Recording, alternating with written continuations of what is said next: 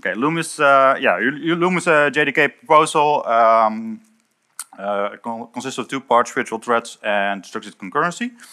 And yeah, like Jip said, there's probably a lot of talks already on conference about this because it's uh, hot at the moment. So I wanted to uh, attack it from uh, the angle that um, what does this mean for us as developer right now? What, what should we do? Um, what do I know, need to know about it? Um, this is copied from the uh, JDK proposal page. Basically, uh, Java already has a very uh, powerful and flexible uh, concurrency model. However, it might be complex to use. And of, of, course, we have different alternatives available. Like I already said, we already have reactive and uh, callbacks and those kind of things. Uh, but none of them uh, hide the complexity for the developer. So the goal of Project Loom is to make concurrent programming in Java very, very easy for us as developers. Going back to the root of the problem, uh, we probably built applications um, that have a lot of uh, requests, uh, a lot of transactions, and also make a lot of network calls or maybe even I.O. calls.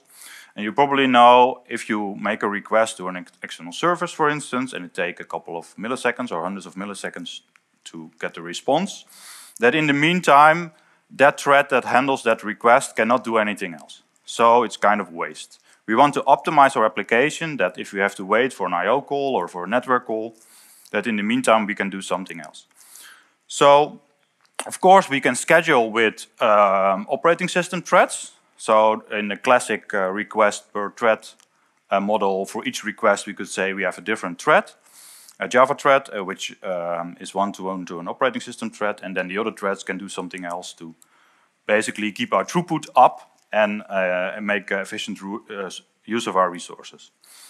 But the problem is, uh, operating system threads are kind of expensive. They have a, uh, each have their own stack, so they have a big uh, initial memory uh, need. And therefore, the amount is very limited. You only have a limited amount available. So existing solutions, um, we probably, uh, is there anyone who uses callbacks in Java? JavaScript, maybe? That's where it's used more. Uh, reactive programming, which is very nice. Do you uh, have users of reactive programming? Do you also use coroutines? okay, good. Um, and while these are all nice solutions and they all have their specific strengths and all have their specific problems, uh, they each require a very specific programming model. We cannot just say we have this existing Java application without rewriting. We make use of uh, basically being able to handle multiple uh, request responses on the same thread. So what's the answer? Uh, the answer is part one of Project Loom, uh, virtual threads. And virtual threads are basically user mode threads. So they allow us to switch tasks on platform level uh, using our existing synchronous code style that we used to. They have a very low initial memory footprint. I have to say initial because, of course, um, you can still uh, have a lot of memory attached to a single thread. We will talk about it later as well. And that's because the stack is stored on the actually on the heap. So that's a very nice thing where when you learn Java or you do your Java programming exam, you learn about the stack and the heap. Now we have the stack on the, on the heap. And it's dynamically sized, and it also means we don't have to reserve the stack memory when we spin up a virtual thread. We can uh, increase it later if needed. Uh, because of all of these things, uh, we can have more of them available, actually thousands of more than, than actually platform threads. And the other thing is, uh, switching between threads is cheaper as well. So the suspend and resume uh, operations are faster than with platform threads. So how does this look if we, uh, if we look at it, how the threads are mapped? So basically the virtual threads now replace the Java threads as we are used to them. The virtual threads are then mapped onto actually uh, system threads, and those system threads are mapped on uh, operating system threads. So we have an extra layer of abstraction in our threading model.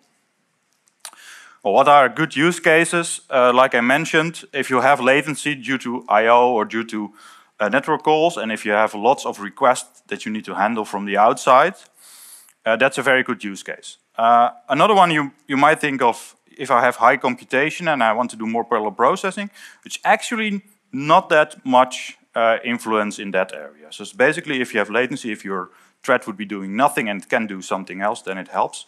Uh, I have an example in computation, we can actually have a look at it later. But that's not the main focus. So we're not focusing on speed, but we're actually focusing on throughput. These two cars are on the same thread. The blue one is basically blocked by the red one. Um, and if we had two lanes, although they're going slower because they're in the pit lane, they would arrive both at the same time or they can arrive at the same time at the end of the pit lane. So our throughput is actually two cars instead of one. Okay, um, let's compare it to uh, existing solutions.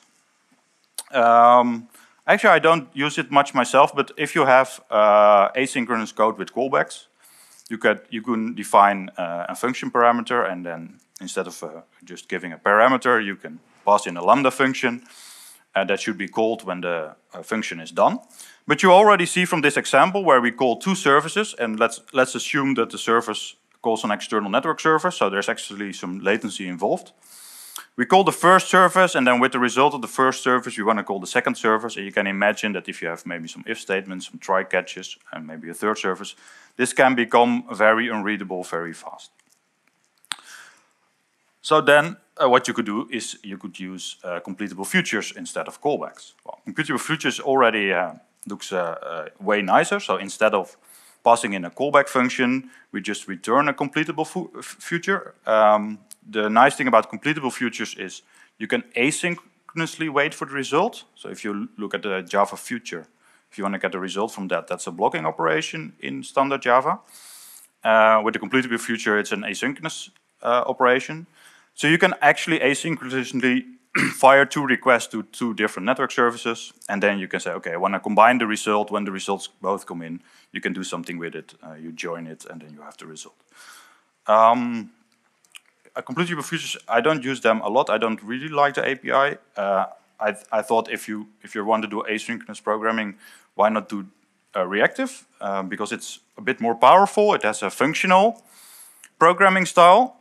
so again, if the call service is a asynchronous a function and it's uh, calling an external service, instead of a completable future, we can now return a mono. Mono basically means uh, uh, something or nothing uh, comes out of as a result. Um, you can combine it with other mono calls by using flatmap. So you have one service and you want to re uh, the result of the service, you want to combine it with the result of another service. You do a flat map and then you subscribe to the result. And then in the subscribe, uh, you have access to the result and you can do whatever you want with it. Um, if, if you like reactive programming, it can be very fun, it can be very powerful, you can do a lot of different things with it, especially if time is involved in your use case. So if you have uh, data arriving over time, for instance. But it can also be a little bit overwhelming. I think if you use if you've used reactive programming or you have joined a project where already reactive programming were used, um, these chains can basically get very long and it can also become a bit unreadable and de it's definitely a paradigm shift from uh, uh, synchronous programming to reactive programming. And one of the other things is you have to be really aware whether you use blocking calls or not. So this is based around the fact that every call you make is a non-blocking. So if you have, for instance, a database call, you need to use an asynchronous database driver to leverage this. And if it's not an asynchronous database driver, then you have to be aware from the fact that it's actually you're making a blocking call to your database. You cannot just do that from your reactive chain. Well, you can. That's probably the, one of the aspects of the problem. You can, but you shouldn't. So you still have to be aware, do not block the main thread. Um, maybe fans of Kotlin in the, in the room. Kotlin has a very elegant solution for uh, the asynchronous problem, which are coroutines. Coroutines basically is uh, async await. So if you know from JavaScript or TypeScript, uh, other programming languages, they have they call it a async await. In Kotlin, it's called coroutines. Coroutines roughly allow you to program in the synchronous programming way, but making use of asynchronous functions, which are called suspend functions. You still have to declare in your code that the, the code you are running is asynchronous, and you cannot just go from a suspension function to a normal function. So you still have to be aware of the fact, am I blocking the main thread? Is this a asynchronous function or is this a synchronous function? But it does allow you to um, yeah, do more uh, synchronous style programming in, and still using asynchronous uh, programming model. Um, and we also have to know that this is Kotlin, so it um, runs on the JDK, but uh, coroutines is not natively supported by the JDK. They have to do work to convert your uh, coroutine code into something that works on the JDK. Uh, and then the virtual threads. So how does the programming uh, model look in virtual threads if we call two services? Well, actually, it just looks the same as what we do now. So if you now have two calls to external service, and those are blocking calls, um, by using virtual threads, they become non-blocking calls because they don't block the main thread anymore. They actually yield the main thread if they're waiting for a response from an external service, for instance, a response from a network call. And then in the time that we are waiting for one response, we can make another call and we can wait for that. So we can do multiple things at the same time without changing our programming model, which is really nice. Um, so for instance, these two calls are now blocking. So if you make on Java everything up until 20, uh, any of these calls, we, you are blocking the main thread. So getting the result from a future, but also thread.sleep will block the main thread.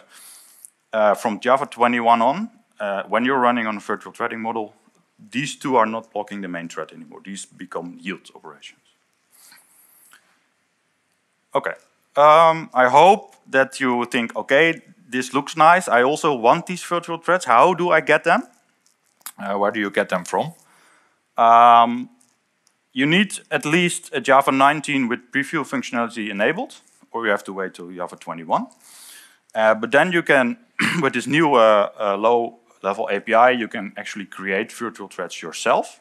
So instead of thread.of platform, you say thread.of virtual, and it will create a virtual thread. And then the way you use that thread is exactly the same as you would use a current thread in Java. So you can create a runnable, and you can say thread start this runnable and that will be exactly the same.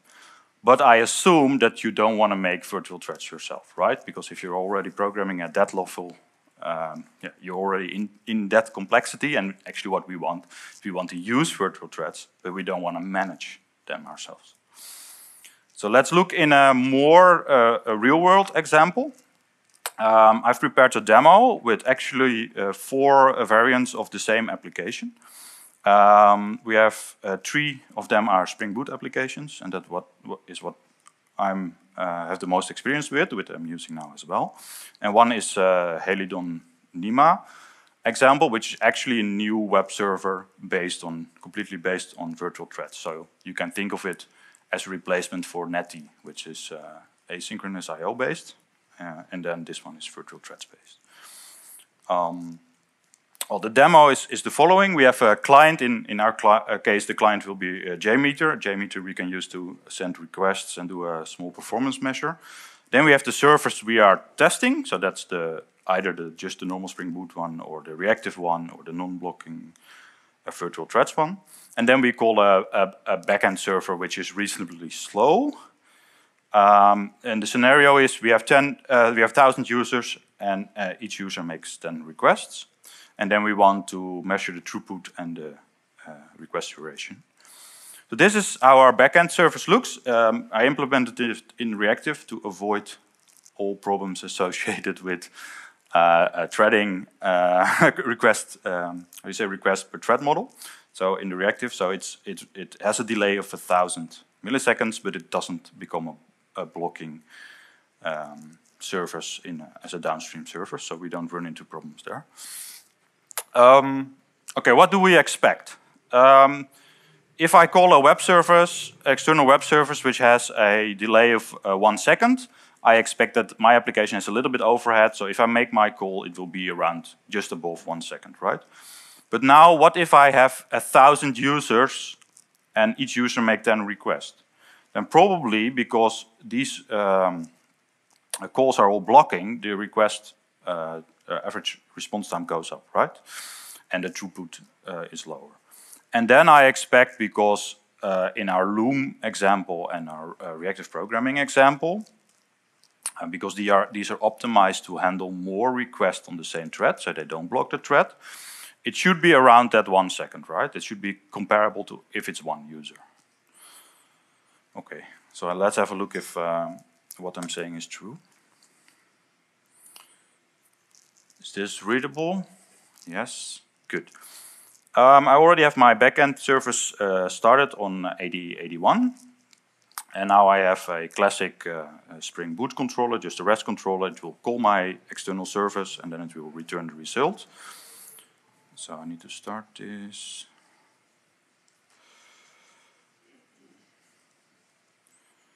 And then we go to JMeter. Uh, JMeter just does one uh, HTTP request uh, to the hello and uh, I defined a thread group. So we have, like I said, a thousand threads, and then each user, each thread does 10, 10 requests. And let's run it. And this takes a while to complete. Mm.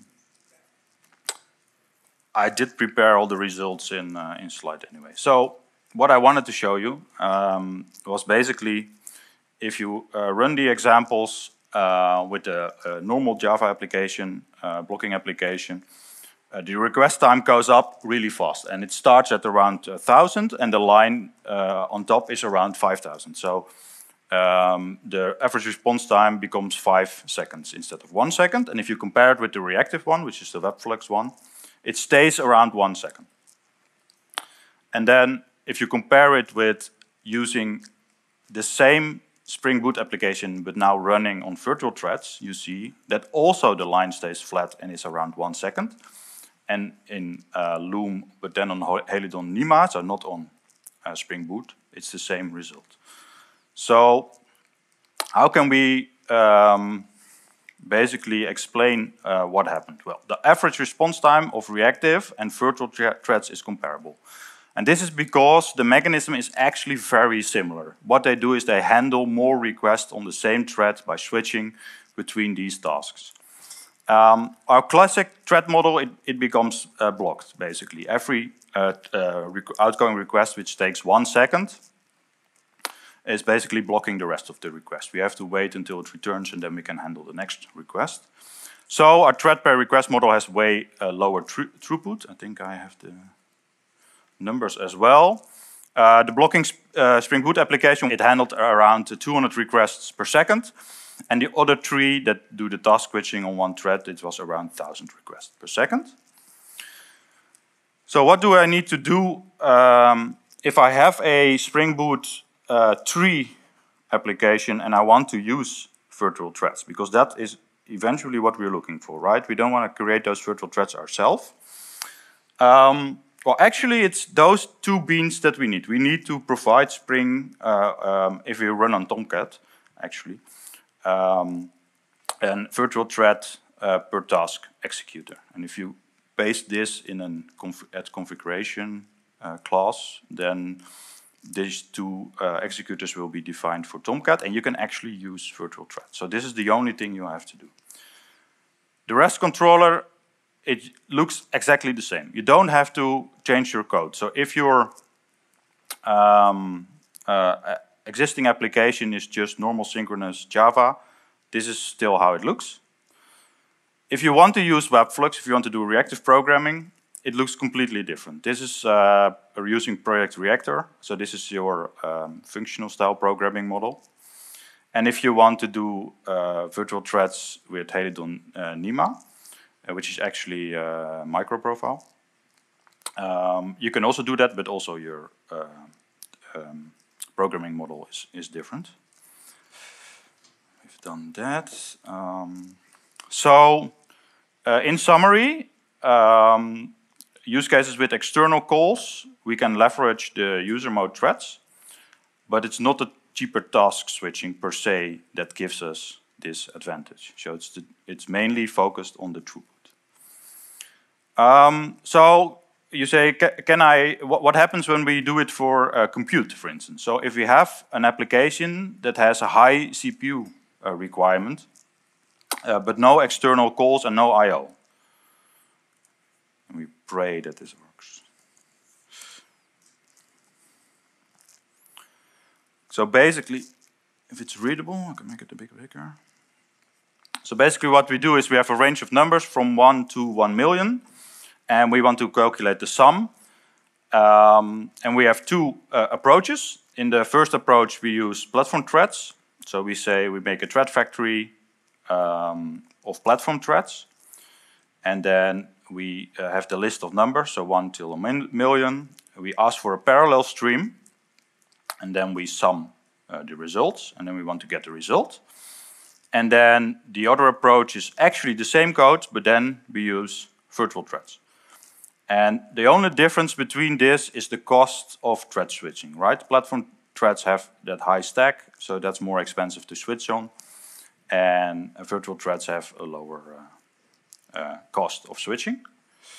So if we run this, uh, we see that uh, processing time for platform threads is roughly 100 milliseconds, and for virtual threads, it's 66. So it's still uh, faster, it's still helps to have virtual threads in this case, but the um, difference in throughput was five times. We had 200 requests per second versus 1,000 requests per second, and now it's not even half. It's uh, around 40%.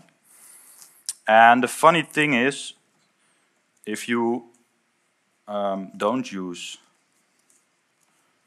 parallel threads, uh, parallel streams, um, you don't do any task switching, so it's even faster.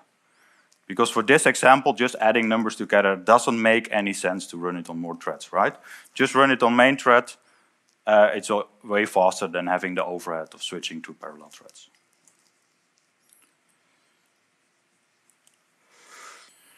Okay, I, um, I explained that you can use regular code on virtual threads and that most calls that we would consider blocking are not blocking anymore. So then the question, of course, is which calls are still blocking, right? Uh, it's important to know if you use virtual threads that there's still two, two ways of blocking the main thread. Uh, first is if you use synchronized blocks, and this is probably the one that you could run into, although I don't think uh, much people still use synchronized blocks. Uh, and the other one is calling native methods. And calling native methods, um, there's no way around that. That, that, that can al always be blocking. But for synchronized blocks, we have a, a solution. But uh, let's look at the code first. So if you're running on virtual threads, and if you uh, call thread.sleep for a duration of one second, we only block the virtual thread. We don't block the underlying main thread. Now, if you put that same code in a synchronized function, it becomes a blocking method. So that's important to know. If you do any blocking work in a synchronized method, um, it's, it becomes a blocking method for the main thread. So how can we solve this? Well, uh, luckily since Java 8 already we have um, a programmatic lock, which is called uh, reentrant lock. And you can basically define this lock. And then if you need a resource and you want to be the only one using that resource, or you, maybe you want to make a call to an external service which only has one connection, so you want to make sure only one outgoing connection is there, not all requests trigger a connection. You can say try lock, so try to acquire the lock, when you get the lock, you do something, and then finally you release the lock. So if you have any synchronized blocks in your code and you want to prepare for virtual threads, then uh, look for a reentrant lock. Another thing to uh, be aware of is, uh, of course, a thread local. A thread local is a um, um, an instance um, where you can store information that's bound to a thread. And for instance, this is used uh, sometimes when you do authentication you want to pass on the user in your thread, or maybe uh, you want to use it for, for logging, for um, um, uh, metrics, and those kind of things. So thread local is used. So how does it behave for virtual threads? Well, the good news is uh, virtual threads all have their own thread local. So you can still use thread local with your virtual threads if you want. But there are a few things to be aware of. Um, first of all, uh, thread local can become uh, uh, quite big. The thing is, uh, thread local um, uh, for each thread, uh, the memory will be reserved. Um, that's there, and it will also be copied into child threads. So everything you put, put in there um, can mean a me higher memory footprint. And also, thread local is mutable. It is something that we you run in already. So if you have multiple threads with the same um, multiple child threads with the same thread local, it's possible that the state get mu uh, gets mutated. Um, so let's, let's have a look uh, the thread local example. So again, we have two examples. Um, this should be off platform. We have uh, two threads, two platform threads, and they, are, they each get their own thread uh, local version. Um, and one uh, puts in uh, platform thread 1, second one puts in platform thread 2. So we assume that if you uh, print the, the value from thread 1, it is thread 1. If you print the value from thread 2, it's thread true. And the same goes for virtual threads, but now we call them virtual threads. So if we run this, we can actually see that uh, platform thread 1 uh, still has the value, uh, 2 still has the value of 2 and 1 still has the value of 1. And for virtual threads it's the same. So the virtual threads each have their own instance of the thread local. But um, since they can become uh, a, a, big because, uh, uh, and we want to keep the memory footprint of the virtual threads low, uh, in JDK 21, together with Project Loom, a new thing called scoped values will be introduced.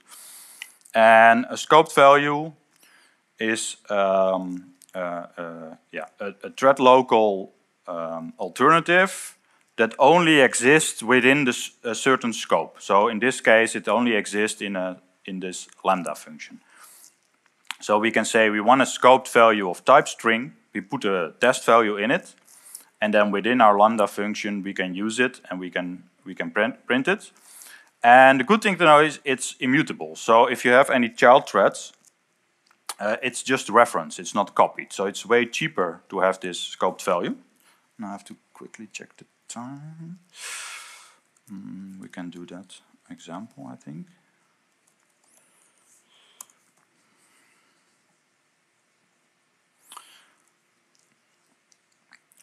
Um, so uh, this actually, uh, in this demo, we have a scope value of type string, and we set the value test value, and then within the scope, we try to read uh, that value, and that should be uh, uh, present, so it should be test value.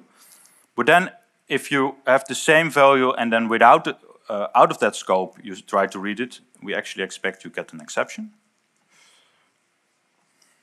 So that's true. Inside the lambda, we just get we can just print the value test value, and then outside of the lambda, we get a no such element exception. So that's what scoped values are for. Okay, that was um, about what I had about virtual threads. Now, the second part of Project Loom is structured concurrency. And virtual threads solve the asynchronous problem by letting us uh, use synchronous code, but then in user mode threads. which still have use cases, of course, where you want to do um, parallel operations, so you want to do concurrency, and you have to manage those virtual threads because you don't want to do it yourself. And this is where structured concurrency comes in. So for instance, if you want to run things in parallel and want to collect all the results, or maybe you want to um, just uh, uh, spin up a bunch of instances of a piece of code, and then the first one that returns, you want to use that one. Or you want to do things like retry and timeout.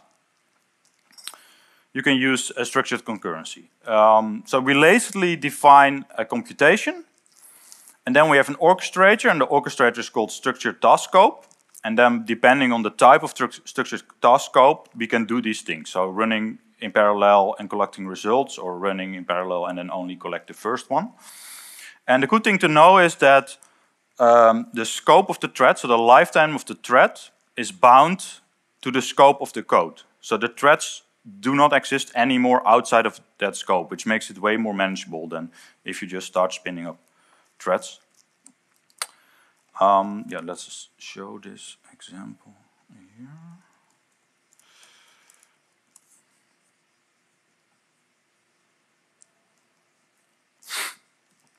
So we have two examples. And the first example, we want to have uh, uh, two calls to an external service.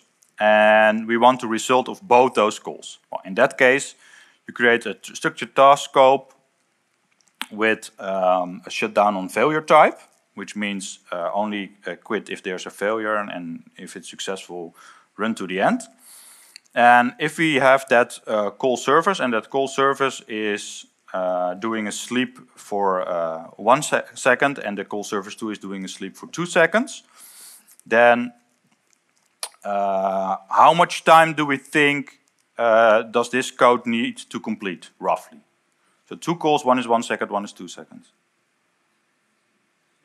Two, right? Because we run them in parallel. That is exactly what we what we like to um, run them for.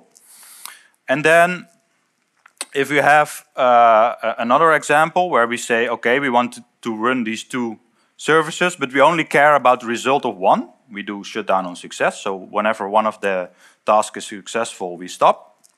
And we have the same uh, delay. So with these same two services, one is one second, one is two seconds, how long do we think it takes? One. Excellent. Last parallel session of the day, people are still sharp. And uh, the code runs, which is also very nice. So the first example, we get our hello world roughly over two seconds. Of course, always a bit of overhead. And in the second example, we get uh, our result only hello, because the world cost lost. That took too long uh, in one second.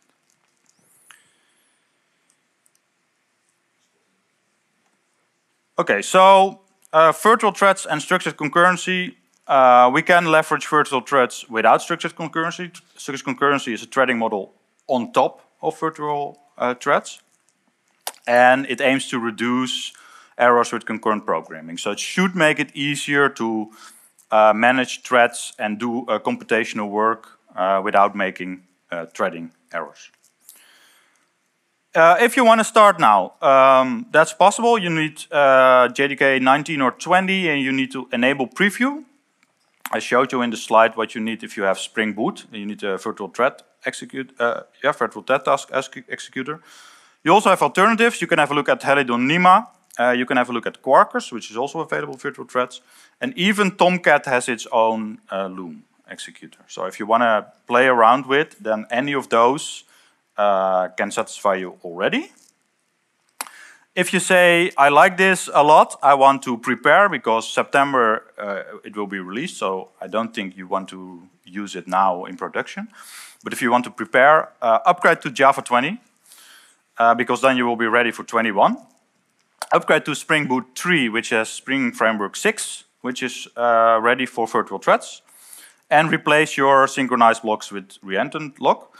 And I actually started a project last year, and before this project we did a reactive project and a coroutine project, and I explicitly decided to use plain Java, plain Spring Boot, no reactive, no Webflux, because I knew if you stay very close to that um, simple uh, stack, then you can very easily upgrade to virtual threads, and you will actually get the same benefits as coroutines and reactive programming. Um, which leads probably to the question, is reactive dead? So did we have our fun uh, a couple of years of reactive? Um, the answer is always it depends. Of course, there's uh, very much similarities between these two if you're thinking about optimizing a threading model and uh, optimizing throughput. But you will also have to know that reactive is not only doing more things at the same time on the same thread, uh, reactive also deals with the problem of infinite streams. So if you have data coming in over time, but you don't know how much data it is, and there you don't know when, when the data ends, um, reactive streams still has a good programming model for that. So there's, uh, there's something that is not solved by virtual threads. And of course, if you like a functional programming model, that's also uh, what reactive has. The virtual threads will just be your synchronous programming model and not a functional programming model. Uh, then what about Kotlin coroutines? Actually very similar. Um, Kotlin coroutines has a very nice API for concurrent programming, but also has APIs for uh, things that reactive solve. They have flow and channels, which are basically hot and cold sources, so you can also deal with infinite streams. Um, it, you have to know that it does, uh, it, it is based on non-blocking I.O., the same with reactive. So this means it exposes a little bit of complexity to us as a developer. You have to be aware which part of your code use blocking calls and which part of your code use non-blocking calls. Uh, so you actually, that application, your application split in those two. Um, uh, virtual threads make uh, uh, the coroutine part easier, but there's still uh, reasons to use Kotlin coroutines. And of course, um, the, the nicest thing is if you like Kotlin and even if you like coroutines, um, you could use them on top of virtual threads. So one thing does not exclude the other. Virtual thread will still be a thread, and you can, can use the coroutines on top of that. A little bit of an overview in time. Uh, the Loom was introduced as a preview feature last year in September 2022. We got a new version in March this year, and then the next one will be available in September, and then finally we can use it for real. Um, summarizing, uh, choose the right uh, tool for the job. That's always the case. So if you only care about parallelism, if you don't want to uh, deal with infinite data streams or make more complex concurrent programming, just wait for virtual threads or start playing with it already uh, because you will get them for free on Java 21. And then I still have eight minutes, right? Okay, let's keep those for questions, I guess. I had prepared a little demo where I migrate the current application we're using in two virtual threads, but I think it's not uh, enough time. But I will tell you uh, the ID behind it. I was just trying it um, two weekends ago for fun, so I upgraded to Spring Boot 3. I um, enabled in the Java compiler um, enable preview.